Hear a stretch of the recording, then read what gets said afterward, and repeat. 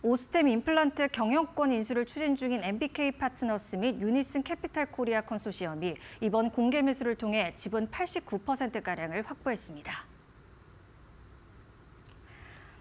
공개 매수 주관을 맡은 NH투자증권은 컨소시엄이 공개 매수를 위해 세운 특수 목적 법인이 전체 거래가는 주식수 가운데 65.1%에 해당하는 지분을 확보했다고 밝혔습니다. 컨소시엄이 최종 확보한 우호 지분은 기존 최대 주주 소유 지분 등을 더하면 약 89%에 달합니다.